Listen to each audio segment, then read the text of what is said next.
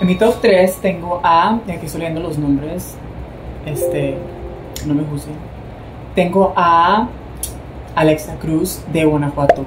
Cuidado, chicas, porque Guanajuato, la verdad que no tiene mucho, así que ah, no tiene mucha eh, porra, así como que muchos eh, fans, o, pero la verdad es que te llegarías a sorprender porque muchas veces candidatas que no tienen porra llegan siendo las que ganan.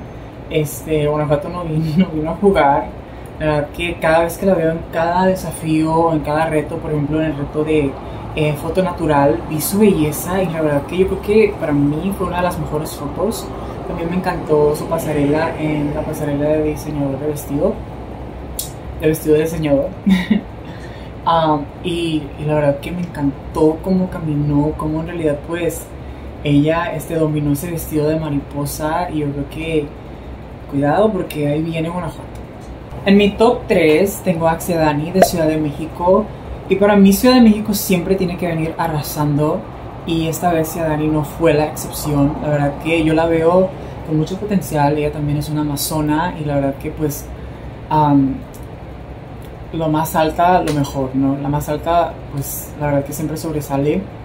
No uh, estoy segura de cuánto mide, pero sí sé que es alta y que tiene piernas también para días y días y días y días. Y la verdad que yo sí la veo en el top 3 o con una conora internacional.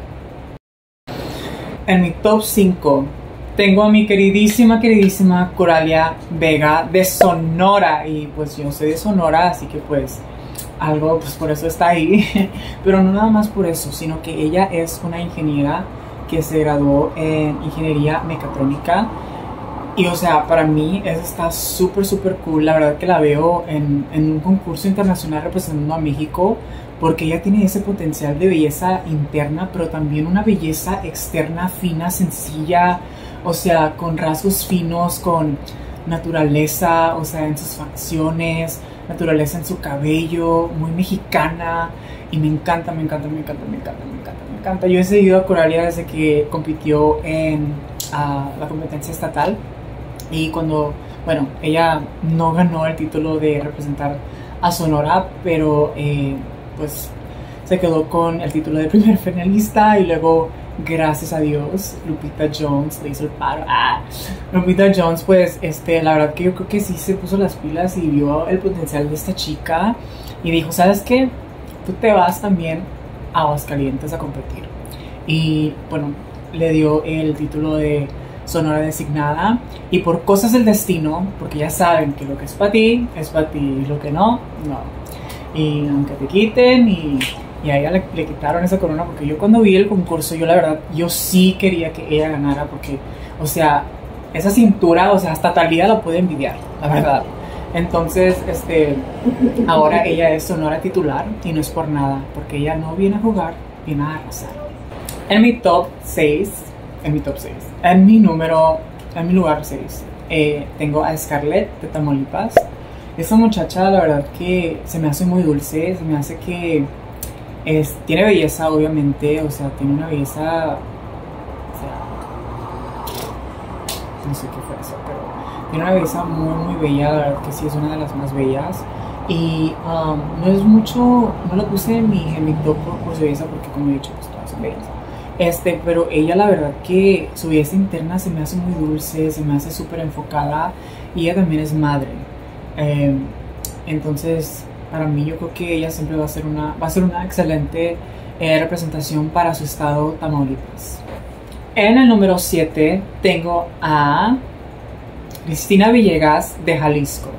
La verdad que, bueno, he escuchado pues a fans y pues espectadores de este concurso, eh, pues la verdad que tener una voz muy fuerte contra Jalisco diciendo que este año las alicienses o que a Cristina no, pues, no está enseñando mucho. Eh, la verdad que yo vi su concurso estatal y la verdad que yo supe, eh, cuando ya estaba en el top 5, yo supe que ella iba a ganar la corona.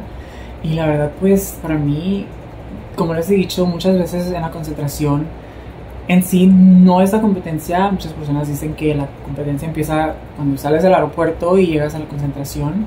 Pero la verdad es que yo creo que es una estrategia, porque lo que en realidad cuenta esa competencia en el escenario.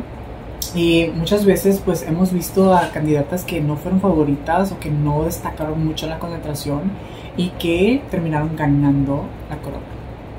En mi número 7, perdón, 8, está Dania Sánchez de Nuevo León. Esta mujer se me hace guapísima, guapísima, guapísima.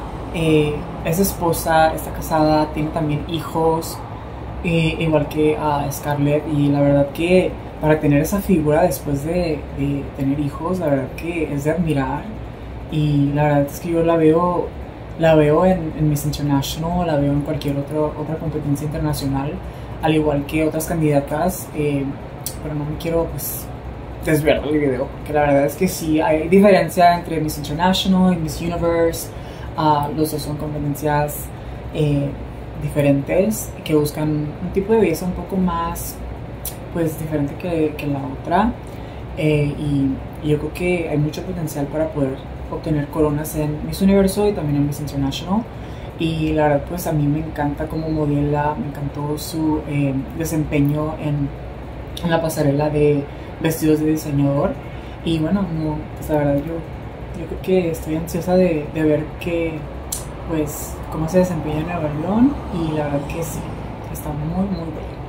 En mi posición número 9 tengo a mi tocaya Andrea Farril de Guerrero. La verdad que para mí Andrea es otra amazona súper alta, tiene facciones súper finas, la verdad que la veo representando a México, la verdad que la veo con una corona internacional porque, o sea, sí, o sea, tiene el potencial de poder ir a un concurso internacional, eh, tiene el look, eh, la verdad que no conozco mucho de ella, pero sí me acuerdo de ver un video en donde ella habló de su experiencia y un poquito, la verdad que sí, sí me tocó un poco el corazón. Y bueno, eh, su belleza es extremadamente, ay, I decir despampanante. pero bueno, Andrea la verdad que sí, yo sí que yo sí veo que tiene mucho um, potencial, tiene ese look y esa hora de reina de belleza que va a ganar que no va a, a jugar, o sea, que va a ganar y va a decidir. Y en mi top 10 tengo nada más y nada menos que a Melody Gutiérrez de United States. Bueno, para mí esta chica la verdad que, bueno, tengo notas en ella porque la verdad que amo a esta candidata específicamente porque es una mexicana que ya tiene experiencia de lo que es eh, vivir en otro país una reina tiene que tener adaptación y la historia de Melody y de muchísimas personas alrededor del mundo es obviamente pues ir a otro país para mejorar la calidad de vida y yo creo que entender eso es muy importante y yo creo que estoy muy emocionada de su desempeño y de cómo va a arrasar en la final y ah, cómo se sigue desempeñando eh, en la concentración. La verdad que pues obviamente ella es bilingüe y eso es un mega, mega, mega, mega plus en el mundo de los reinados. También quiero compartir que es de Sonora y pues yo también soy de Sonora y Irma Miranda también lo es y hace varios años predije eh, el, bueno, predije el huracán de las sonorenses y de las norteñas porque en realidad yo creo que ya era hora de que nuestras mujeres abarcaran más espacios y más coronas. Y así concluyo este video. No olviden escuchar mi nuevo podcast disponible en Spotify y en Google Podcast. Eh, muy pronto estará disponible en Amazon. Eh, no se lo pierdan porque está muy jugoso. Denle like a este video, comenten y comenten también cuál es su favorita. Y hasta la próxima.